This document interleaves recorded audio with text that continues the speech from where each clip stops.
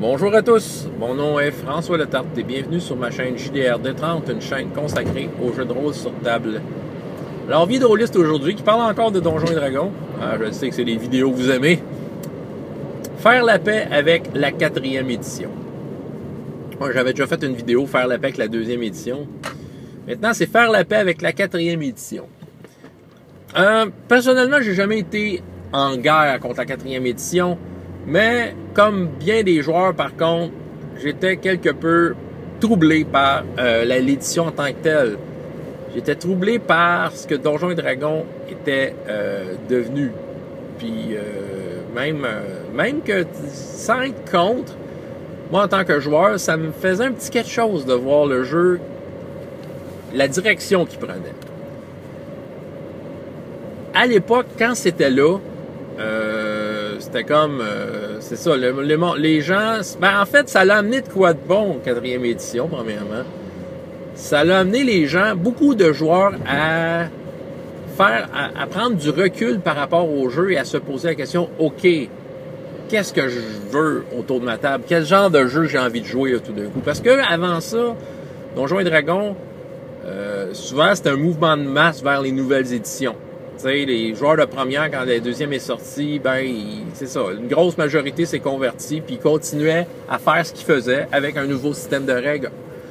Quand la troisième édition est sortie, ben, c'est un peu la même affaire, un mouvement de masse vers la troisième édition. Les gens continuaient à faire ce qu'ils faisaient avant, mais avec la troisième édition, avec un système de règles différent. Quand la quatrième édition est arrivée, oups! Le changement était brutal un peu.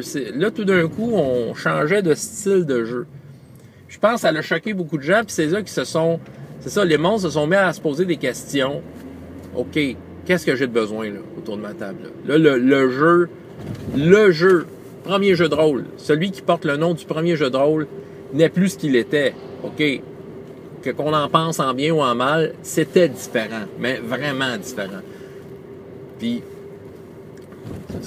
peu importe ce qu'on en pensait, en fait, ça prenait, ça prenait un certain recul. Il y a eu certains mouvements. Pathfinder en est un. C'est la naissance de Pathfinder, ça, la quatrième édition. Les gens qui voulaient encore euh, avoir du nouveau avec un style de jeu qui probablement pratiquaient déjà pouvaient maintenant se rabattre sur Pathfinder.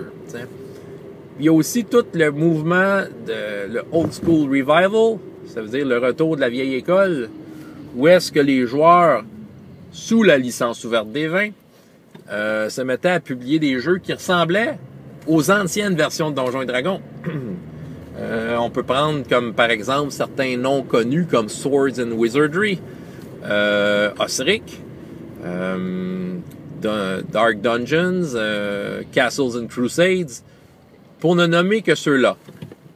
Puis c'est ça. Donc les joueurs, on dirait que c'est ça, ça a comme fait le point à quelque part de quatrième édition a eu ça de très bon c'est que les gens ont fait le, point avec leur vie de rôliste par rapport à Donjons et Dragons. Donjons et Dragons 4e édition est un excellent jeu. C'est super bien fait. C'est juste que c'est fait pour un style de jeu, je dirais, un peu plus précis que ce qu'il ce offrait avant. C'est sûr, vous allez me dire, ça n'empêche rien. Ceux qui aiment 4e édition, tu peux jouer de tout, tu peux faire du roleplay en masse, tout ça. Ouais, mais tu sais, reste que si on regarde ce qui est écrit dans le livre, ben c'est fait pour un style de jeu précis, style de jeu un peu plus tactique.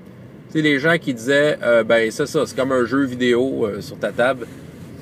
Ouais, ben c'est vrai que ça pouvait faire penser à ça. Je pense qu'il y avait une, il y avait une stratégie de Wizards of the Coast d'aller chercher des joueurs. En fait, de débarquer des joueurs de leur ordinateur. Je pense que c'était ça. Là. Ils, ils ont pas créé un.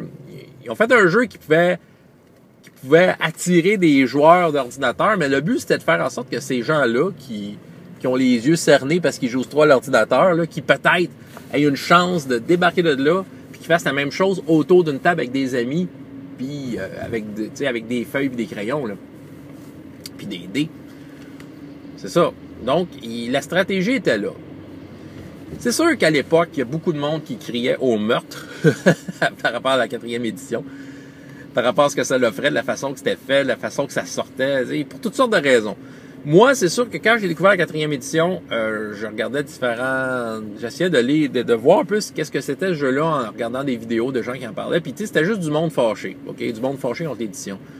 Puis à un moment donné, je dis, ben là, ça va faire. Il va falloir que je fasse ma propre idée de ce jeu-là au moins avant de, me prononcer.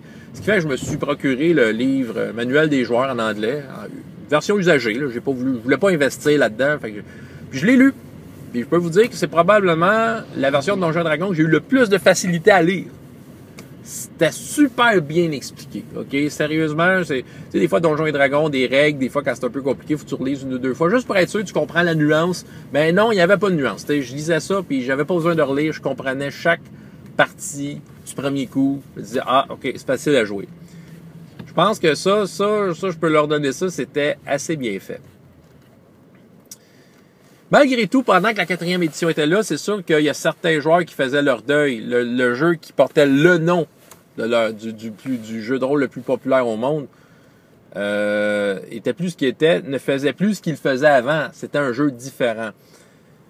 Bon, vient la cinquième édition. Cinquième édition est une édition qui, remet les pendules à l'heure, qui offre un donjon et dragon qui euh, a de quoi plaire à toutes les générations de joueurs qui ont, veulent, qui aimé ce jeu-là puis qui veulent encore y jouer.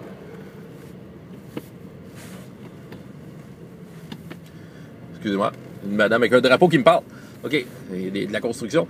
Euh, donc, je pense que là, la poussière quatrième édition, j'ai l'impression qu'elle est retombée un peu. Je pense que là, les gens ont fait le point pendant la quatrième édition sur ce qu'ils voulaient jouer. Nouvelle édition de Donjons et Dragons qui arrive ajoutant euh, une nouveauté dans l'éventail Donjons et Dragons. Là, la poussière est retombée. Je pense que les gens fâchés contre la quatrième édition n'ont plus à être fâchés. Quatrième édition devient, cette fois, une édition parmi les autres, devient un choix par rapport à un style de jeu qu'on peut veut faire. La poussière est retombée, cinquième édition est là. Qu'est-ce qu'est-ce que je pense de la quatrième édition?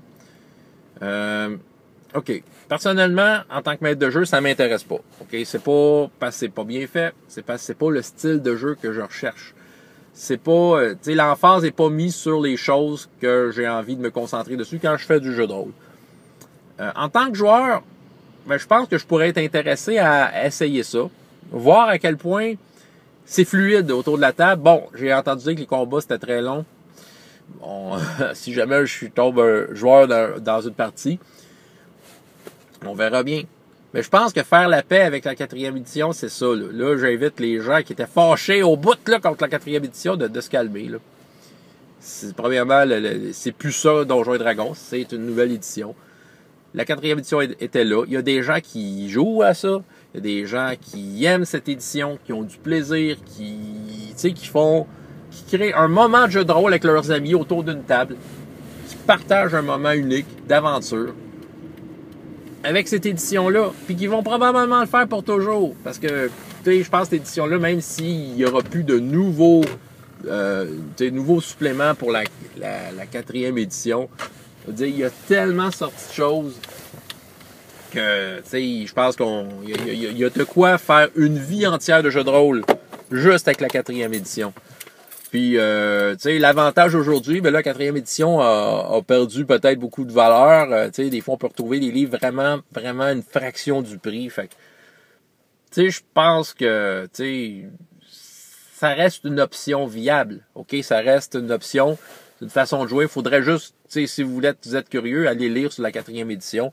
Mais, tu sais, je pense qu'il y a des choses que la cinquième édition comblera pas pour certains joueurs, puis qui vont le faire dans la quatrième. Donc, faire la paix avec la quatrième édition. Voilà, la poussière est retombée. Prenez du recul, regardez ça. Donjons et Dragons, quatrième édition, ça fait partie de la famille, puis ça a eu sa place, puis ça, puis ça fait encore, euh, comme je dis, ça fait partie de la famille, ça a encore sa place pour, euh, pour toujours. Ça, l'a fait, ça l'a laissé sa trace. Pour le meilleur et pour le pire. François Letard, JDRD30 et jusqu'à la prochaine fois, ayez autant de plaisir dans la vie, dans les jeux. Au revoir.